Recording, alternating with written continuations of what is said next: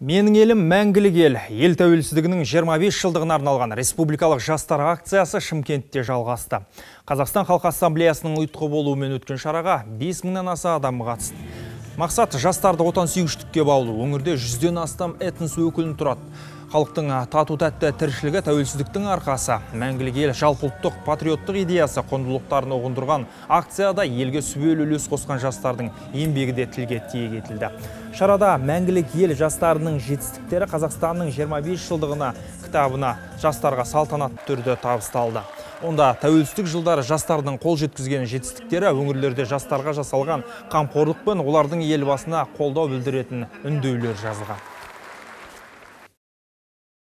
Елбасымыз нұрсұлтан әбішұлы назарбаев егемендігіміздің туын көтеріп қазығын қағып біздерді осы бүгінгі еркін күнге тамаша заманға алып келді. Құрметті жастар ол жай ғана тойлау емес осы 25 жылдығымызды қорытындылау. Ол өткен 25 жылымызға баға беру.